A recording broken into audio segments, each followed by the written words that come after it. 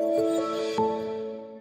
Leuk dat je kijkt naar deze video uh, waarin ik een aantal concrete ondernemerslessen van een van mijn gasten uh, deel met jou die ik op CVD-TV sprak. Want op CVD-TV praat ik met ondernemers. Zoals um, in deze video, um, met name geschikt voor mensen die actief zijn uh, op het gebied van e-commerce, die bezig zijn met online verkoop. Um, ik sprak met Peter Blaas. Hij is samen met zijn vrouw oprichter van Perfectly Basics. een e-commerce website, een modesite waar kleding wordt verkocht uh, aan vrouwen. Uh, en hij deelt in deze video eigenlijk drie uh, hele leuke, maar vooral ook inspirerende en praktische ondernemerslessen. De eerste is hoe hij techniek toepast om onderscheidend te zijn en om heel effectief te kunnen opereren als e-commerce bedrijf. Oftewel, wat is de les die je kan leren uit zijn verhaal als het gaat om de inzet van technologie? Ik denk vooral dat je hele structuur, de controle over hoe je het doet, hoe je het brengt en hoe je het intern organiseert, hoe de klantenbeleving is, daar moet je de volledige controle over houden. Dat is denk ik op dit moment onze grote. Uh, en hoe doe je dat dan?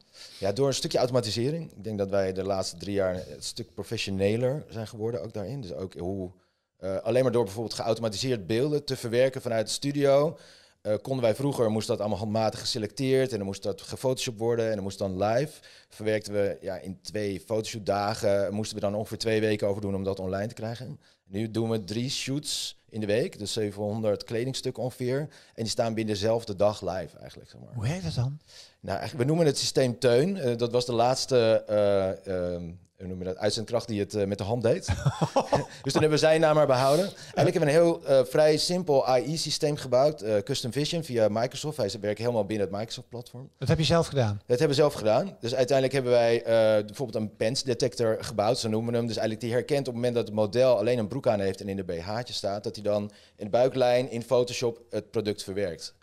Dus we hebben eigenlijk een AI-detector die ziet van, oké, wat is het? Is het een detail? En dan gaat hij het in Photoshop bewerken en zet hij het op zijn plek. En ook die bewerking doet hij automatisch? Direct, ja. En in Photoshop? In, ja. Kan dat, ja? Ja, dat kan. maar dan zie je Photoshop gewoon dingen doen? Ja. Zonder dat er een mens aan te pas komt? Totaal, Hoe cool. Ja. De tweede les uh, die hij met ons deelt is uh, hoe om te gaan met retouren. Voor veel e-commerce ondernemers uh, wordt dat nog misschien wel gezien als een probleem. Hè? Een, een, groot percentage van de producten die jij verkoopt komt weer terug als retour. Ehm, Peter ziet dat niet als een probleem, maar ziet dat als een, als een absolute kans. En hij legt in deze video zo meteen uit hoe hij omgaat met retouren. Hij, heeft, hij doet dat zelfs zo goed dat hij door PostNL een beetje wordt gezien als de retourengoeroe.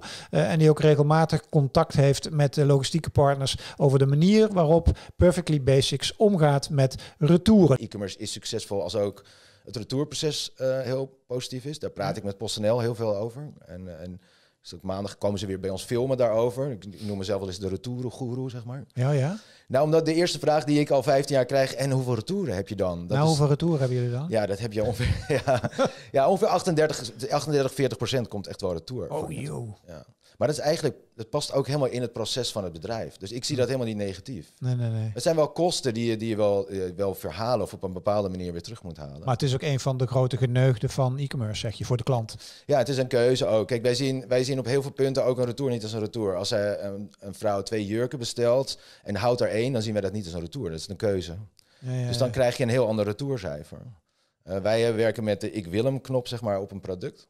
Dus eigenlijk op het moment dat uh, we hebben lage voorraden, natuurlijk een hele snelle doorlooptijd. Ja. En wij zeggen altijd slow fashion, fast to market, is een beetje de term die wij ook gebruiken. Ja, ja. Um, maar op het moment dus dat je een product is uitverkocht, laat een vrouw achter, ik heb interesse als hij weer terugkomt. Op het moment dat wij in het uh, proces scannen dat een retour uh, is ontvangen, gaat er meteen communicatie uit naar die klant van, er is er weer één, wil je hem hebben? Dus gaat hij eigenlijk van de retourtafel weer naar de impacttafel en meteen weer de weg op.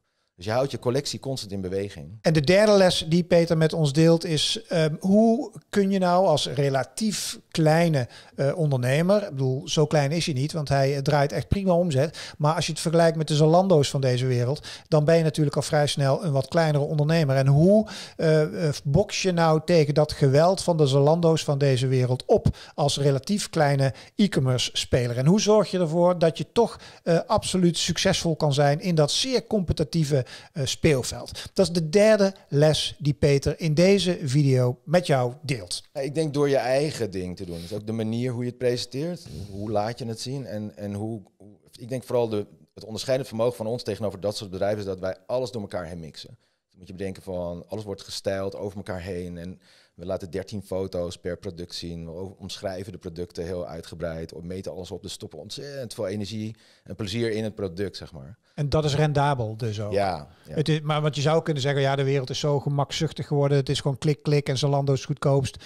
En dan makkelijkst qua bezorgen en terugbrengen. En dan gaan we die route bewandelen. Klopt, maar er zit toch best wel heel veel emotie in het product, gelukkig nog. Mm. En dat is denk ik ook wel uh, wat mode zo leuk maakt eigenlijk. Hè. Mm. Het is allemaal heel fast fashion, maar daarnaast heb je ook toch wel een stukje bewustwording. Ook van waarom koop ik het, wat doe ik ermee. En ja, wat betaal ik een eerlijke prijs voor een product. En, en dat zijn wij ook in de jaren best wel beetje gefocust geworden. En vind je nou deze video's, waarin ik een aantal ondernemerslessen uit die interviews haal en ze achter elkaar plak, vind je dit nou leuk en wil je er meer van zien? Uh, abonneer je dan op 7D TV. Hieronder vind je het welbekende knopje. We publiceren drie nieuwe video's per week. Dus ben je ondernemer uh, en wil je geïnspireerd worden door dit soort concrete ondernemerslessen, abonneer je dan vooral. En wil je nog meer ondernemerslessen nu zien? Blijf dan hangen. Hierna twee nieuwe video's. Voor nu, dankjewel voor het kijken. Hoi!